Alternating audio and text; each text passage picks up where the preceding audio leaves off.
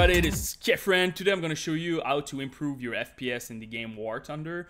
Uh, first of all, you have two options uh, in this game. You can change the op uh, your graphic option in the config file or inside of the game. If you want to know where's the config file, you have a couple of more of option in it. Uh, the file is in the War Thunder where the game is installed. Go to config.blk and open this with like something like Notepad++ plus or even Notepad and you will have all the things that you need to change. Make sure that you're using proper word because sometimes they're using medium, low, they not necessarily use number like here, as you can see, cloud quality. So uh, yeah, you have more option in it. So if you have some trouble to to to to have your um, uh, 60 FPS, uh, for sure you can change other stuff in it. Okay. Click X.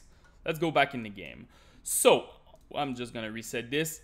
I'm gonna do it like if I have a mid or low end computer. So make sure, first of all, start your graphic at medium. Click here, okay? So this one, stay at 2x. Anti-aliasing, make sure that you put 2x because I really don't like uh, to just remove anti-aliasing. If you want to see like nice object and stuff, you really need your anti-aliasing. And use FXAA. Texture quality, this one, depending on the VRAM on your video card, if you have less than 2 gig, go to medium or low, or if you have more than two, just go at with I.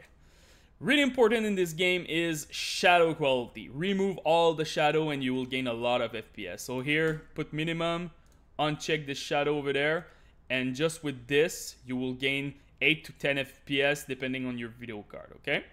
This one, really important. Second, uh, water reflection, this one, just remove it, okay?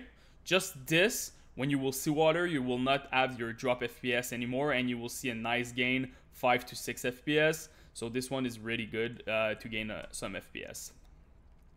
Uh, after that, particle density, okay?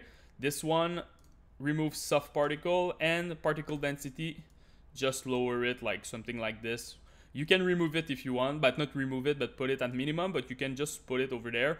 And again, just to remove uh, the soft particle and particle density, you will gain 5 to 6 FPS.